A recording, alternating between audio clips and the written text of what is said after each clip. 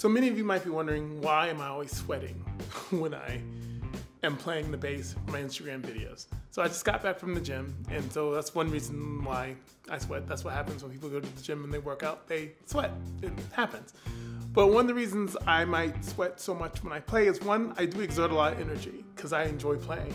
So I'm always giving kind of my all, and it's it's a physical thing. It's not it's not just like a mental thing, like I'm thinking about the music, but I actually am sort of becoming the music in a lot of ways. One reason I might be sweating is holding up this camera with my right arm right now, which is getting a little tired. But when I um, when I'm in my apartment, I don't have central air. I have an air conditioning unit, and you can see it right there. That is my air conditioning unit. And look, look what happens when I turn it on. Okay, that's not the button. This is what happens when I turn the air on. All right. Okay, that may not seem so, so loud, but when you're doing an Instagram video, particularly when you record on your phone, that sound of the air is actually quite loud. So when I'm doing my videos, I actually have to turn the air off because I don't want that sound to be there when I'm um, playing them.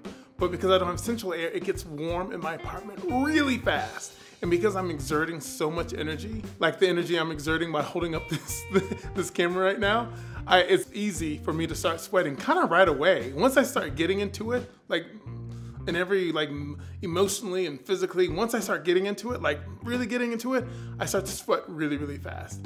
Also, because I go to the gym basically every day, my heart rate can be up already, or I might have just done a workout, and that's another reason. But I just want to explain that because I know some of you might have had some like questions. Why is he already sweating so much? Sweat dripping on his instrument.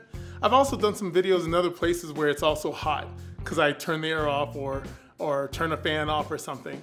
But that's just the way it goes. So anyway, I thought you might have interest in that, and I hope that solves the mystery for any of you who are wondering. See you later.